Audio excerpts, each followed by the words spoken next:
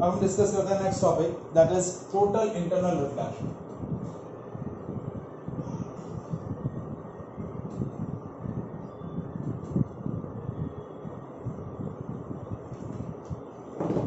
ठीक है तो क्या होता है टोटल इंटरनल रिफ्लेक्शन ये लाइन जो दो मीडियम को सेपरेट कर रही है ठीक है एक ऑब्जेक्ट से डिफरेंट डायरेक्शन में लाइट रेज निकल रही हैं एक लाइट रेज इस तरीके से ये आपका डेंसर मीडियम है और ये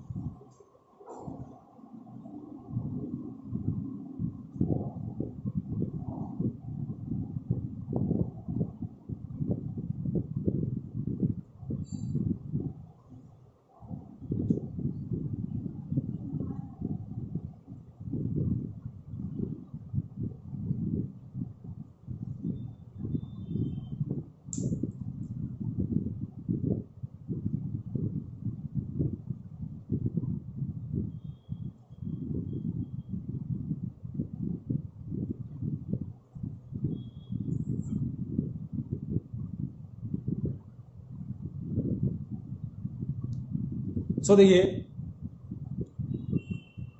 मैंने टोटल चार रे ड्रॉ करी है to explain the total internal reflection first light ray देखिए light ray from object O first ray is incident normally on the surface with separating the two media ये surface है X Y इन दोनों को separate कर रही है तो पहली लाइट रे जो स्ट्रेट गई go straight without any deviation ठीक है रिफ्लेक्शन नहीं होगा ना second light ray Second right ray when travels through denser medium to rare medium, it bends away from the norm. Now third ray, when the light is traveled from denser to rare medium and if the angle of incidence is such a way that angle of refraction for the yeah, angle of refraction in the rare medium is 90 degree. So that angle of incidence is called critical angle. Third light ray incident on the या travel in the denser to rare medium in a such a way that angle of incidence is IC and angle of refraction is 90 degree travel from denser to rare medium in such a way that rare medium में जो उसका angle of refraction है वो कितना है 90 degree तो that's this angle of incidence in the denser medium for which the angle of refraction is 90 degree in the rare medium, that angle of incidence is called critical angle. उस angle को हम क्या बोलते हैं critical angle तो ये third ray जो travel हो रही है वो क्रिटिकल एंगल पर इंसिडेंट हो रही है और एंगल ऑफ रिफ्लेक्शन क्या है 90 now fourth ray when a ray of light travel through denser to rare medium in a such a way that angle of incidence is greater than the critical angle So rather than refraction, it will be totally reflect back again into the denser medium. So that phenomena is called total internal reflection. तो total internal reflection के लिए दो condition है कि पहला light must be travel from denser to rare medium and second the angle of incidence in the denser medium must be greater than the critical angle for the two medium angle of incidence जो है वो critical angle से ज्यादा होना चाहिए तो क्या है total internal reflection the phenomena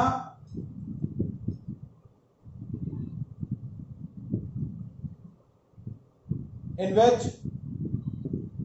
a ray of light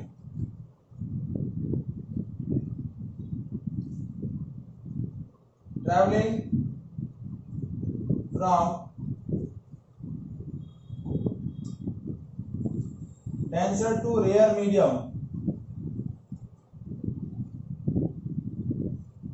at angle of incidence more than critical angle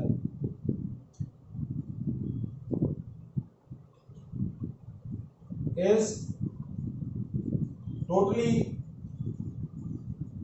reflected back into the denser medium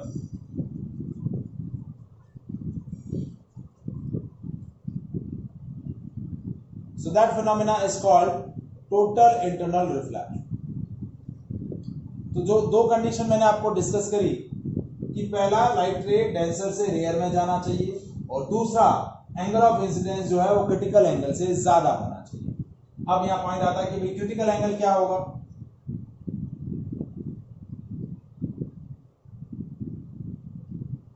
critical angle क्या है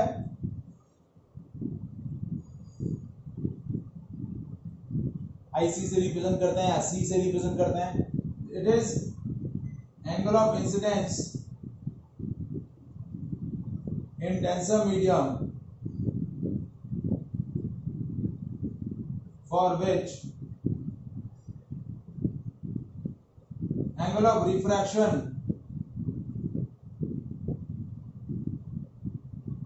in rare medium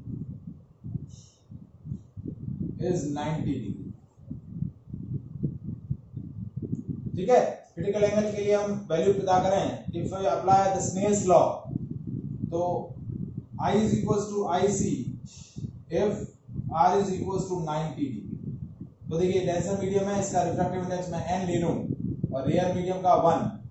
यानी एयर लिया मैंने फॉर एग्जाम्पल ठीक है तो ये क्या हो गया या फिर इसका एन वन डेंसर मीडियम का मैंने ले लिया एन टू और एयर मीडियम का मैंने ले लिया एन वन एयर नहीं है देखो दूसरा मीडियम है फिर भी तो कैसे करेंगे N two into sine I C is to N one into sine R तो N two into sine I C is equal to N one into sine ninety R की वैल्यू नाइनटी है तो ये हो गया साइन आईसी की वैल्यू कितनी हो गई N one upon N N one क्या हो गया एन वन तो आईसी की वैल्यू क्या हो गई sine inverse N one upon N या पहला मीडियम एयर लेते हैं if you are taking first medium is air ठीक है तो क्या क्या हो जाएगा एन वन की वैल्यू वन एन टू की वैल्यू एन ये फॉर्मूला हो गया I C is to sine inverse one by N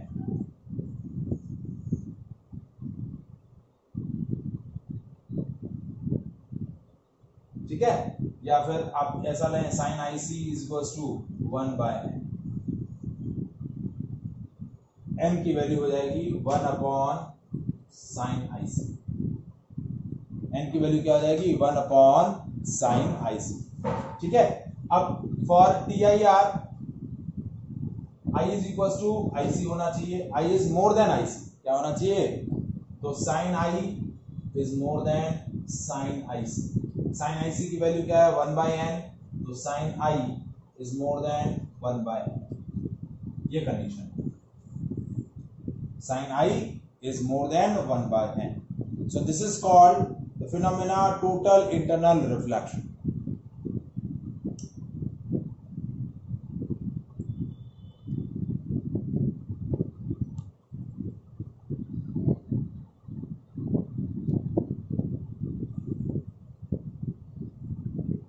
Is it clear?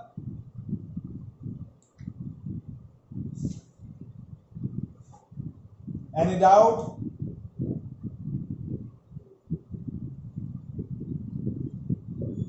हाँ जी बेटा वंदन समझ में आया बेटा ठीक है तो इससे रिलेटेड एप्लीकेशन जो हैं और इससे रिलेटेड नमेरिकल्स जो हैं कल हम डिस्कस करेंगे और नेक्स्ट हम डिस्कस करेंगे reflection through single spherical surface important दोनों टॉपिक इंपॉर्टेंट है नमेरिकल्स भी बनते हैं दोनों टॉपिक से ठीक है चलिए now now today we'll discuss applications of tir now as we discuss the phenomena tir ever a light is travel from denser to rare medium in a such a way that angle of incidence is more than the critical angle then rather than refraction into the rare medium, it will be totally, totally reflected in the denser medium. So that phenomena of light is called TIR. So TIR observe karne ke liye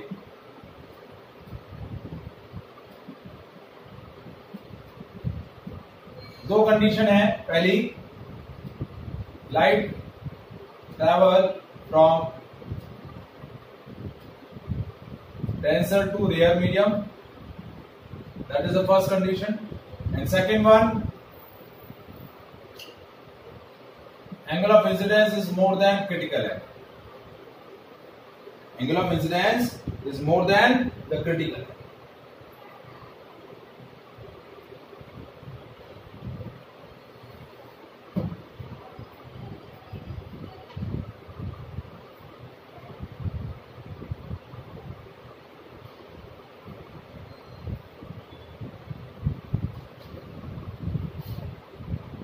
So now we'll discuss some applications of TIR. So first application of TIR is sparkling of diamond.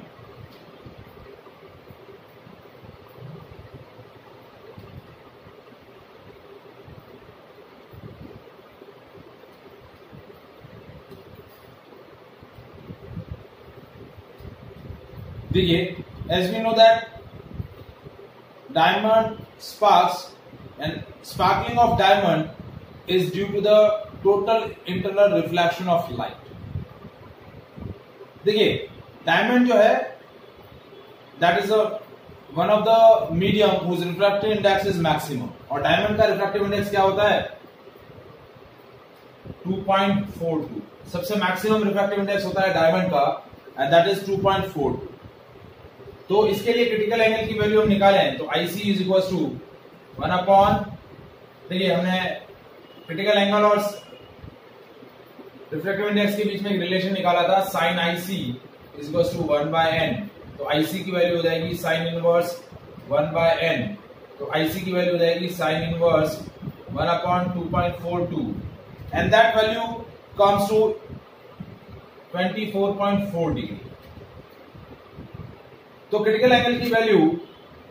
क्या रहती है diamond के लिए 24.40 degree तो इस वजह से क्या किया जाता है डायमंड की जो फेसेस होती हैं उनको इस तरीके से कट किया जाता है so that as the light is entering to the prism sorry entering to the diamond after entering जो लाइट रे होंगी that will be totally internally reflected repeatedly inside the diamond rather than emerge out from the diamond तो वहां क्या किया जाता है जो diamond की फेसेस है उनको इस तरीके से कट किया जाता है कि एंगल ऑफ इंसिडेंस जो है that will be more than critical है ताकि क्या होगा लाइट रेस का उसी मीडियम में क्या होता रहेगा बार बार रिफ्लेक्शन होता रहेगा और उसी रिफ्लेक्शन की वजह से डायमंड के अंदर ही लाइट रेस बार बार रिफ्लेक्ट होती रहेगी और उसी रिफ्लेक्शन की वजह से आपको क्या होगा we will observe the sparkling of diamond हमें डायमंड जो है वो स्पार्क करता हुआ क्या होगा ऑब्जर्व होगा is it clear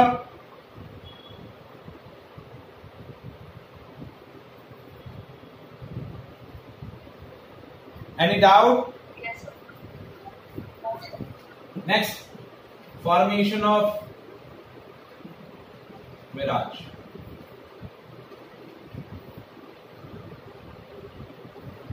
क्या होता है बेटा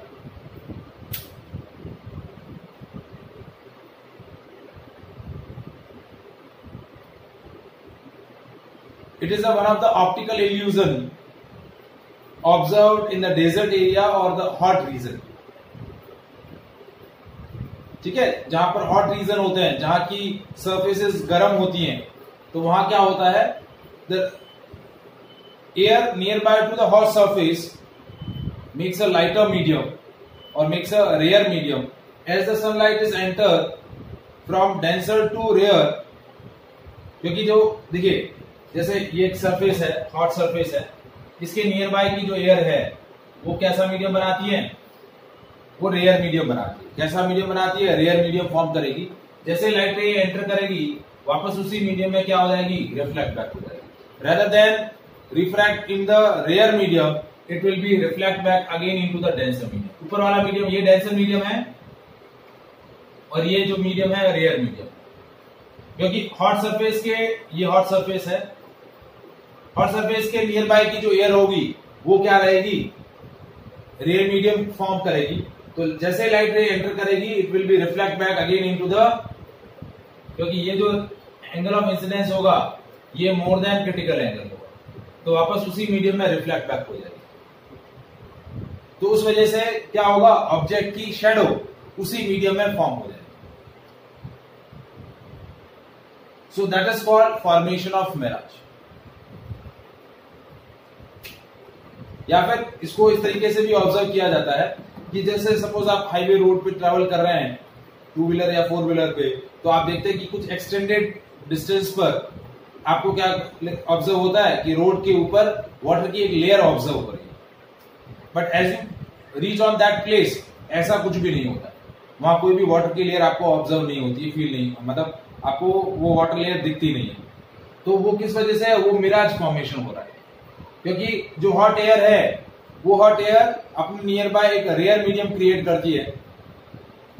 और जैसे सनलाइट एंटर करती है तो सनलाइट वापस उसी मीडियम में रिफ्लेक्ट हो जाती है डेंसर मीडियम के अंदर डेंसर में डेंसर से रेयर में एंटर करने की उसका रिफ्रैक्शन करने का ट्राई होता है लेकिन वो क्या हो जाता है टोटल इंटरनल रिफ्लेक्ट हो जाती है और इस वजह से हमें क्या ऑब्जर्व होता है मिराज ऑब्जर्व होता है so the formation of mirage is also due to the phenomena total internal reflection is it clear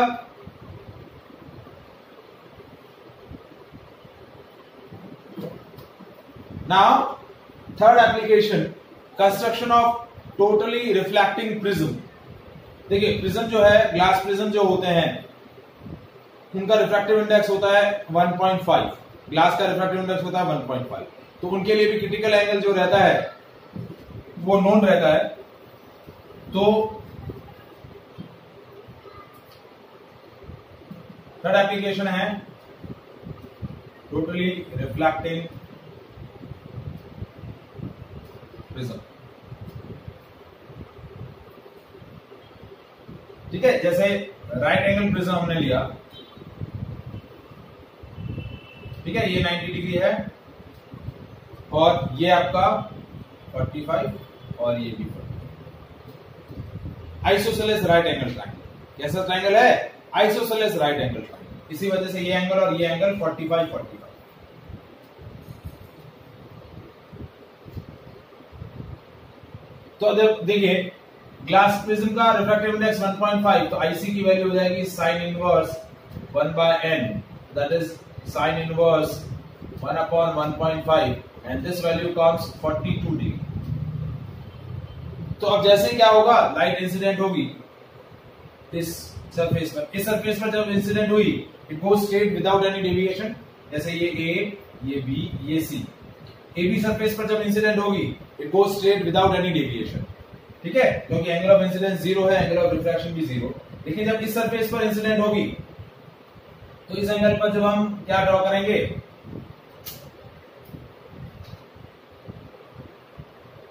जो नॉर्मल ड्रॉ किया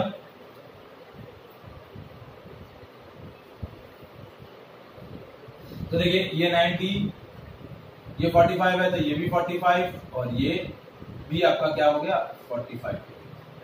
क्योंकि ये आपका एंगल पूरा 90 डिग्री है तो एंगल ऑफ इंसिडेंस क्या हो गया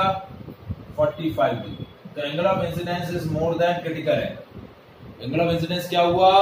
मोर देन क्रिटिकल एंगल तो rather than refraction it will be reflect back again into the same तो इस तरीके से वो रिफ्लेक्ट हो जाएगा ठीक है यदि सपोज मैं एक एक्सटेंडेड ऑब्जेक्ट ले लू ये ए बी ये ये बी एक लाइट रे ऐसे गया एक लाइट रे ऐसे गया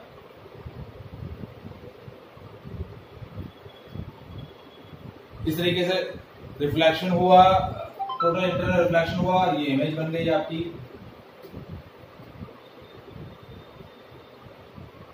ठीक है A dash B dash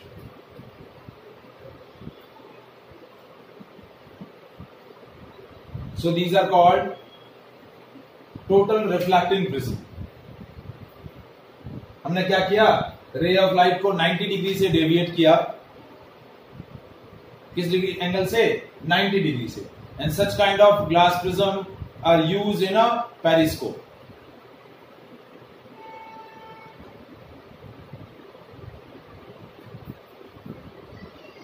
ठीक है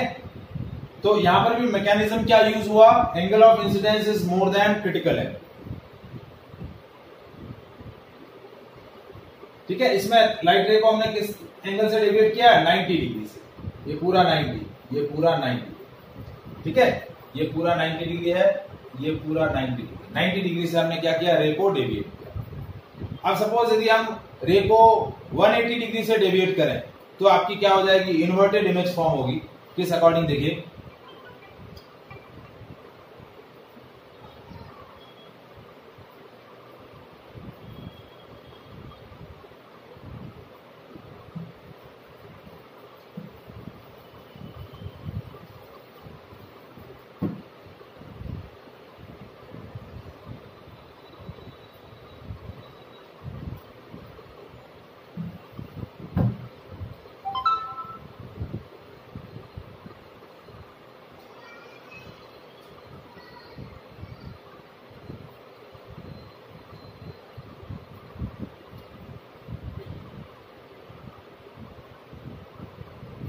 ऑब्जेक्ट ए ये बी से लाइट रेज इंसिडेंट हुई इस सरफेस पर और एक इस सरफेस पर ठीक है ये वही ट्रायंगल है ठीक है यहां से रिफ्लेक्शन हुआ और इस सरफेस से रिफ्लेक्शन हुआ ये नॉर्मल हमने ड्रॉ किया यहां पर इंसिडेंट हुआ रिफ्लेक्शन एक बार यहां से हुआ जब यहां पर वापस इंसिडेंट हुई तो यहां से वापस रिफ्लेक्शन हुआ और it will be reflect back again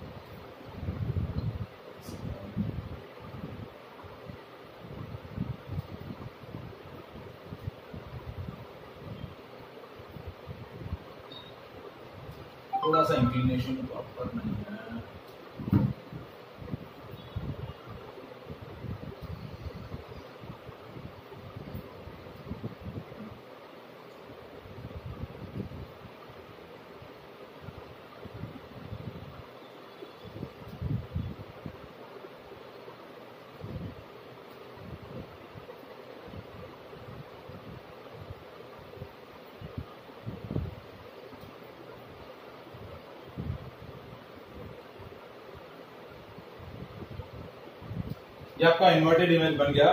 rays inverted by 180 deviated by eighty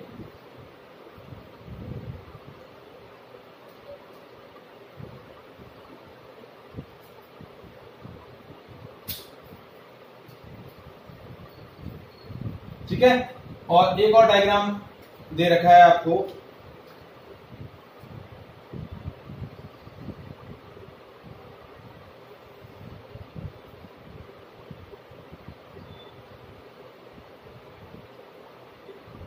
ये मैकेनिज्म जनरली बायोनाकुलर्स के अंदर यूज किया जाता है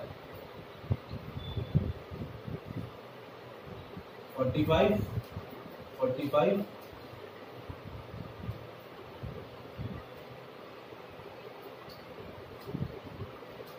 ठीक है तो ये दोनों ये वाला एक्चुअली एंगल जो है वो 90 डिग्री है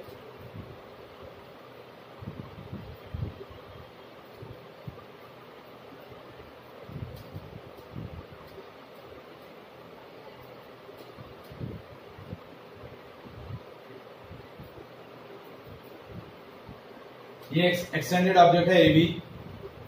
इसे लाइट रेस गई एक और एक ये ठीक है ये नॉर्मल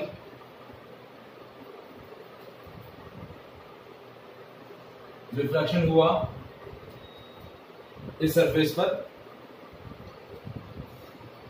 और यहां से जब वापस यहां पर जब इंसिडेंट हुई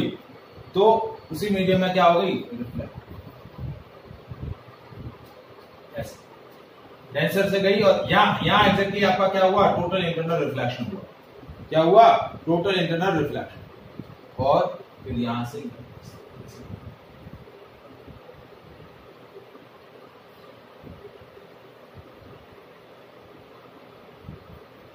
ये मैकेनिज्म ये आपका क्या फॉर्म हो गया image form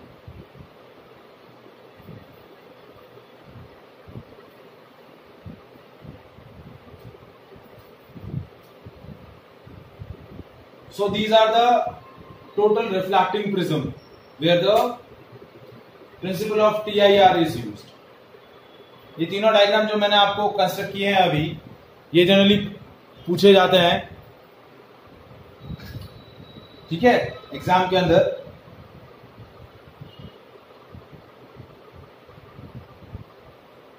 And now the fourth application of TIR that is used in OFC cable. OFC cable कहां यूज होती है क्या होती है ओएफसी केबल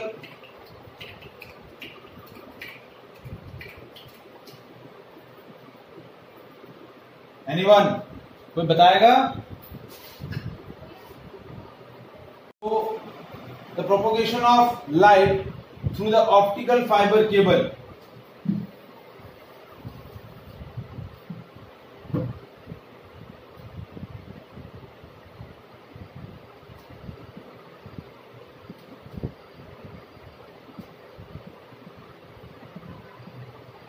देखिए नॉर्मली ऑप्टिकल फाइबर केबल से पहले जो नॉर्मल वायर यूज किए जाते थे सिग्नल ट्रांसमिशन के लिए उसमें क्या होता था सिग्नल का अटेन्यूशन हो जाता सिंगल सिग्नल जो है वो वीक हो जाता था उसकी स्ट्रेंथ धीरे धीरे रिड्यूस हो जाती थी तो सिग्नल जो है वो सेंडर तक रिसीवर सेंडर जो भेज रहा है रिसीवर तक प्रॉपरली प्रॉपर स्ट्रेंथ में नहीं पहुंच पाता था क्योंकि सिग्नल की स्ट्रेंथ खत्म हो जाती थी या वीक हो जाती तो उसके बाद ओ केबल्स का यूज किया गया तो ओ केबल में क्या होती है नॉर्मली तीन कोटिंग रहती है सबसे नीचे वाला जो कोटिंग रहता है सेंट्रल सिलेंड्रिकल जो कोटिंग होती है उसको हम क्या बोलते हैं कोर बोलते हैं जिसका रिफ्रैक्टिव इंडेक्स जो होता है अराउंड अराउंड 1.52 के आसपास रहता है ठीक है उसके बाद उसके ऊपर वाली जो लेयर होती है सबसे नीचे जो है इस तरीके से ये आपका कोर है ठीक है कोर से जस्ट ऊपर ये वाली लेयर ठीक है ये आपका कोर है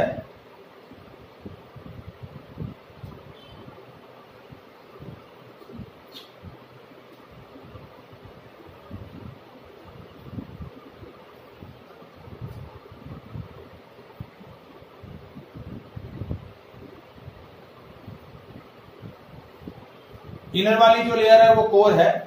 आउटर वाली जो लेयर है वो क्लेडिंग है कोर वाले का रिफ्रेक्टिव इंडेक्स जो रहता है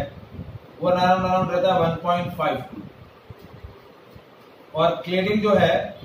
उसका रिफ्रेक्टिव इंडेक्स रहता है वन पॉइंट फोर कितना रहता है वन पॉइंट फोर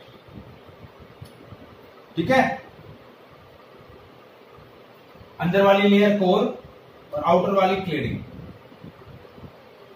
अब क्या होगा लाइट एक बार एंटर करेगी इस तरीके से फिर क्या होगी इसी मीडियम में वापस टोटली इंटरनली रिफ्लेक्टेड होती रहेगी बार बार और जैसे ही जहां पर सेंडर से सेंडर के पास हमें रिसीवर को भेजनी है तो वहां हम क्या करते हैं छोटा सा इस तरीके से कंस्ट्रक्शन कट लगाया जाता है कि जैसे ये आपका अंदर वाला मीडियम डेंसर है तो बार बार डेंसर मीडियम में ही वो क्या होती रहेगी बार बार रिफ्लेक्ट होती रहेगी लेकिन जहां पर रिसीवर को जहां सिग्नल सेंड करना है जहां रिसीवर को रिसीव करना है वहां पर कट करके थोड़ा सा रिफ्रैक्टिव इंडेक्स जो है वो कम कर दिया जाता है ताकि लाइट का रिफ्रैक्शन हो और रिफ्रैक्शन के बाद या एंगल ऑफ इंसिडेंस इस तरीके से सेट कर लेते हैं कि एंगल ऑफ इंसिडेंस जो है वो क्रिटिकल एंगल से कम हो जाए तो लाइट का रिफ्लेक्शन होने के बजाय रिफ्रैक्शन हो जाएगा और वहां से वो सेंटर को मिल जाएगा यहां पर मैकेनिज्म क्या होता है यहां पर आपका एंगल ऑफ इंसिडेंस जो है वो मोर देन क्रिटिकल एंगल होता है हर बार तो रे जो है इसी सी केबल के अंदर कंटिन्यूसली क्या होती रहती है टोटली इंटरनली रिफ्लेक्ट होती रहती है तो सिग्नल का एक तो स्ट्रेंथ मेंटेन रहता है और सिग्नल जो है हाई स्पीड स्ट्रेंथ रहेगी मेंटेन तो हाई स्पीड के साथ डेटा सिग्नल जो है वो सेंडर से रिसीवर तक पहुंच जाए सो so, आप कल आप जो इतना हाई स्पीड डेटा यूज करते हैं या जो आपने सुना होगा कि जियो कम्युनिकेशन है तो जियो ने ओवरऑल पूरे कंट्री के अंदर ओ केबल का एक चैनल क्या कर रखा है प्रोपोगेट कर रखा है और इसी वजह से आज वो इतना हाई स्पीड इंटरनेट डेटा आपको दे रहा है तो ओ केबल के अंदर भी कौन सा मैकेनिज्म यूज होता है टोटल इंटरनल रिफ्लेक्शन ठीक है तीसरी जो लेयर मैंने जो डिस्कस नहीं करी कोर क्लीडिंग उसके बाद एक बफर कोटिंग होती है वो कोटिंग जो है नॉर्मली क्लीडिंग के ऊपर रहती है ठीक है जो एक सेफ्टी मेजर के लिए सिग्नल की स्ट्रेंथ को या क्लीडिंग की स्ट्रेंथ को मेंटेन करने के लिए एक सेफ्टी कोटिंग रहती है तो उसको हम क्या बोलते हैं बफर कोटिंग तो वो तीसरा पार्ट होता है ऑप्टिकल फाइबर के इज इट क्लियर तीनों समझ में आए चारों एप्लीकेशन समझ में आई टी आई आर की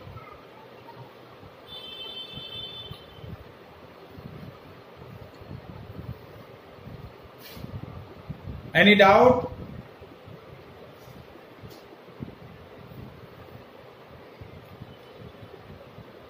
वंदन मान्या आर्या